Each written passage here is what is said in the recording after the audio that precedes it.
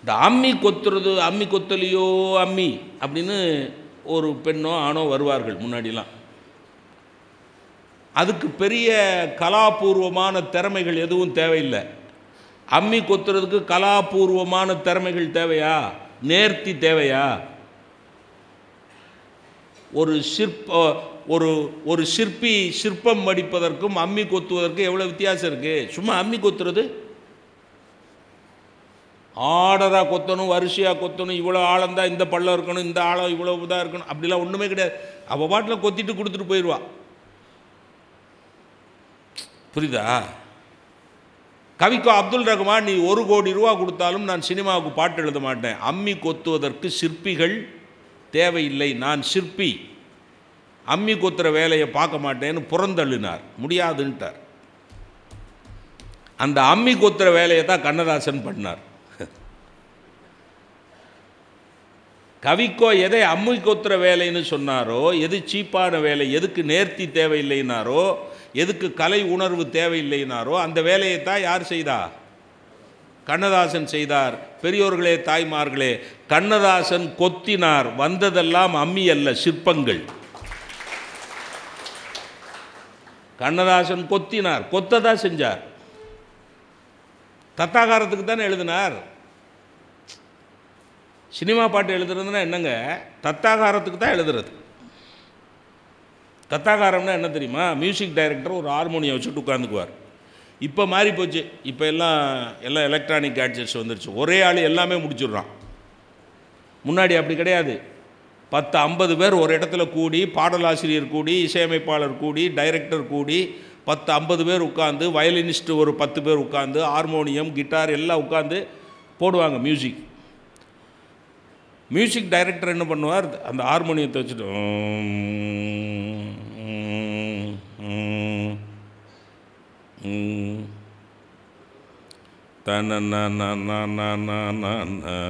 அப்படிம்பார். இதுக்கு வார்த்தை போடணும். தன்னானே தனநானே தானானே அப்படின்னா இதுக்கு வார்த்தை போடணும். புரியுதா?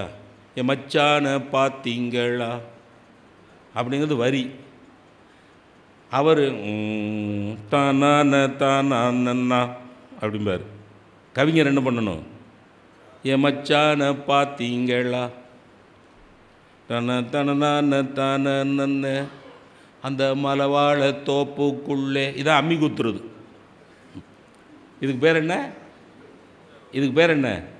அம்மி குத்துறது எந்தையும் தாயும் மகிழ்ந்து குலாவி இருந்ததும் இந்நாடே அவர் முந்தையர் ஆயிரம் ஆண்டுகள் வாழ்ந்து முடிந்ததும் இந்நாடே அவர் சிந்தையில் ஆயிரம் சிந்தனை தோன்றி செழித்ததும் இந்நாடே இதை வந்தே மாதரம் வந்தே மாதரம் என்று வணங்கேனோ?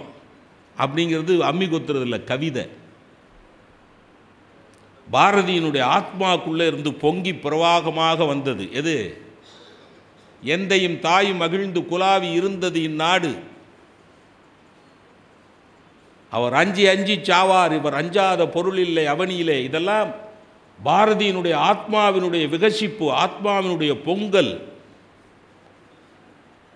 அவனுக்குள்ளே இருந்த கொதிப்பு அது கவிதை. புரியுதா? இது கவிதை கிடையாது. எது? தானான தானானே தன தனநான தானானே அப்படின்னா அவர் ஒன்றுமே செய்யணும் வார்த்தை போட்டால் போதும். ஒன்று ரெண்டு மூணு நாலு அஞ்சு ஆறு அப்படின்னு ஒரு பாட்டு முன்னாடி வந்தது ஞாபகம் இருக்கா? எந்த ஊர் என்ன பேர் என்ன ஆள் அப்படின்னு ஒரு வரி வரும். பாட்டு முழுக்க தெரியல. இப்போ பாருங்களேன். அவர் எப்படி தத்தாகாரம் கொடுத்துருப்பாரு?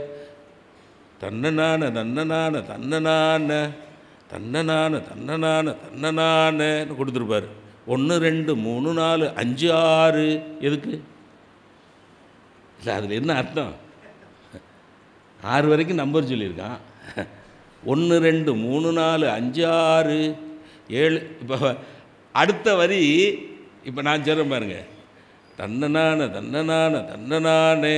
ஒன்று ரெண்டு மூணு நாலு அஞ்சு ஆறு தானநன்ன தானநன்ன தானநானே ஏழு எட்டு ஒன்பது பத்து பதினொன்று பன்னெண்டு பதிமூணு பதினாலு பதினஞ்சு பதினாறு பதினேழு பதினெட்டு பத்தொம்பது இருபது இருபத்தொன்று இருபத்தி இருபத்தி ரெண்டு இருபத்தி மூணு. நம்பராக சொல்லிக்கிட்டே இருக்கலாம். தத்தாகாரத்துக்கு எந்த வார்த்தையை வேணாலும் போட்டு ரொப்பிடலாம். த ஃபில்லிங் த பிளாங்க்ஸு எது?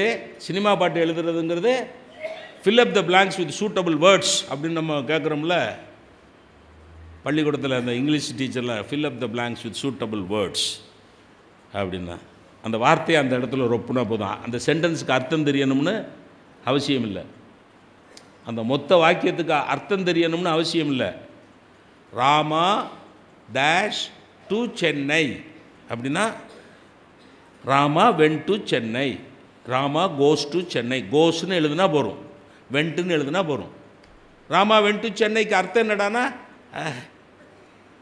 யூஸ்லெஸ் டீச்சர் அர்த்தம்லாம் கேட்குறார் முட்டாள். இதான சினிமா பாட்டு? இதுக்கு எதுக்கு சிற்பி? அம்மி கொத்துறவன் போதும்ல? அப்படின்னு சொன்னார் கவிக்கோ. ஆனால் கண்ணதாசன் அந்த பொறுப்பை எடுத்துக்கிட்டு அம்மி தான் கொத்துனார். ஆனால் கொத்துனதெல்லாம் சிற்பமாக வந்தது. புரியுதுங்களா?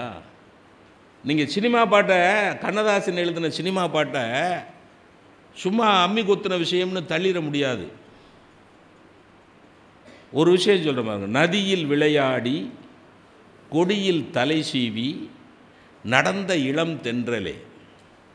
உயர் பொதிகை மலை தோன்றி மதுரை நகர் கன்று பொலி பொலிந்த தமிழ் மன்றமே. இது சினிமா பாட்டா இது? புரிதுங்களா? நதியில் விளையாடி கொடியில் தலை சீவின்னு எழுதுனா பாருங்க இலக்கியம் சார். நதியில் விளையாடுறதுன்னா என்ன அர்த்தம்? குளிக்கிறது. அதாவது தண்ணி அதாவது தண்ணி போய்கிட்டு இருந்த காலத்தில் எழுதின பாட்டு. ஆற்றுலாம் ஆற்றுலாம் புரண்டு தண்ணி ஓடுச்சு இல்லையா? இப்போவும் தண்ணி ஓடுது அது வேற விஷயம். கரை புரண்டு ஓடுது. இரநூத்தம்பது கோடி நானூறு கோடின்னு தீபாவளிக்கு டார்கெட் ஃபிக்ஸ் பண்ணுறோம் எதுக்கு? டாஸ்மாக் விற்கிறதுக்கு இரநூத்தம்பது கோடி முந்நூறு கோடின்னு அரசாங்கம் டார்கெட் ஃபிக்ஸ் பண்ணுறான் என்ன டார்கெட் ஃபிக்ஸ் பண்ணணும்? ஒரு அரசாங்கம் என்ன டார்கெட் ஃபிக்ஸ் பண்ணணும்? ரெண்டாயிரத்தி பதினேழு பதினெட்டில் இல்லை பதினெட்டு பத்தொம்போதில் ஒரு பாலமாவது கட்டுவோம். ரெண்டாயிரத்தி பதினெட்டு பத்தொம்போதில் ஒரு தொழிற்சாலையாவது கொண்டு வருவோம். ரெண்டாயிரத்தி பதினெட்டு பத்தொம்போதில் பிரேக் டவுன் ஆகாமல் ஓடுற பஸ்ஸுகளை அரசாங்கம் விடும். அதுதானே டார்கெட்டு. அரசாங்கத்தோட டார்கெட் அதை தானே இருக்குன்னு இரநூத்தம்பது கோடி முந்நூறு கோடி தீபாவளிக்கு தேசபக்தர்கள் அதையும் தாண்டி வாங்குகிறான் நதியில் விளையாடினா கிரிக்கெட் விளையாடுறதா? ஃபுட்பால் விளையாடுறதா? குளிக்கிறது. அந்த தென்றல் என்ன பண்ணுதா? நதியில் போய் அப்படி விளையாடிட்டு அலைந்து ஆடிட்டு நதியில் குளிச்சுட்டு குளிச்சுட்டு வந்த உடனே பெண்கள் என்ன பண்ணுவீங்க? முடி இருந்த காலத்தில் இது. தண்ணீர் இருந்த காலத்தில் முடி கூந்தல் இருந்த காலத்தில். அந்த கூந்தலை விரித்து போட்டு எனக்கெல்லாம் ஞாபகம் இருக்குது நான் படிச்சுக்கிட்டு இருக்கிற காலத்தில் எங்கள் வீட்டுக்கு எதிர்த்த வீட்டில் மொட்டை மாடியில எல்லாம் பார்த்தீங்கன்னா குளிச்சுட்டு சில அக்கா மாரு மொட்டை மாடியில் வந்து மொத்த முடியையும் முன்னாடி போட்டுட்டு நிற்பான் இப்படி போட்டு குனிஞ்சு நிற்பா நான் பதறி போய் அம்மா அம்மான்ருக்கு அக்காடா முகத்தை காணோம். முகம் முடிக்குள்ளே இருக்குடா. காய வைப்பாங்க. இப்போ பாருங்க நதியில் விளையாடி கொடியில் தலை சீவி நடந்த இளம் தென்றலே. தென்றலே இலசு தானே காற்று வலுவானால் புயல். காற்று வலுவானால் புயல் மெலிவானால் தென்றல். அந்த தென்றலுக்கு ஒரு அடைமொழி போடுறாரு பாருங்கள் ஒரு குழந்தைய ஒரு குழந்தைய பார்க்குற போது ஒரு குழந்தைய பார்க்குற போது இப்படி ஒரு கற்பனை பண்ணுறான் பாருங்கள் கவிஞன். நதியில் விளையாடி கொடியில் தலை சீவி நடந்த இளம் தென்றலே உயர் பொதிகை மலை தோன்றி மதுரை நகர் கண்டு பொலிந்த தமிழ் மன்றமே. ஒரு குழந்தைய பார்க்குற போது ஏமா குழந்தைய பார்க்குற போது என் கண்ணு என் ஐயா என் ராசா என்னை பார்த்த ஐயா. இப்படி தானம்மா கொஞ்சிருக்கீங்க? தமிழேன்னு கொஞ்சிருக்கீங்களாம்மா? எங்கேயாவது குழந்தைய நான் ஏன் நான் உள்பட நான் தமிழ் பேச்சாளன் தானே? எனக்கு ரெண்டு பசங்க பிறந்து வளர்ந்தாங்கல்ல. அந்த பயலுக தொட்டில் கிடைக்கல செந்தமிழே பூந்தமிழேன்னு நான் கொஞ்சிருக்கேனா? நான் ஒரு தமிழ் பேச்சாளன். என் ராசா என் ஐயா அவனுக்கு எட்டு வயசு ஆனோன்னு என்னை கடைசி காலத்தில் காப்பாற்றுவே இல்லையா அவன் ஆத்திருவோங்கிறான் அவன். ஆத்துறது இல்லைம்மா அவனே காப்பாத்துறது. ஆத்துறது எவன் வேணாலும் பண்ணுவான் காப்பாற்றுவியா அது என் மனைவி. அதெல்லாம் அவன் காப்பாற்றுவான் அது அப்புறம் நம்ம பிள்ளை நம்மளை காப்பாற்றாம வேறு யாரை காப்பாற்ற போகுது? ஆ இதுதானே என் கண்ணே என் ராசா ஒரு குழந்தைய தாளாட்டுற பாட்டுக்கு நடந்த இளம் தென்றலே பொலிந்த தமிழ் மன்றம் என இது அம்மி குத்துற வேலையா இது? புரியுதுங்களா? நான் என்ன சொல்கிறேன்னு புரியுதுங்களா? உயர் பொதிகை மலை தோன்றி உயர்வான இடத்துலேருந்து வந்திருக்கா தமிழ். என் தமிழேன்னு கொஞ்சம் பாருங்க.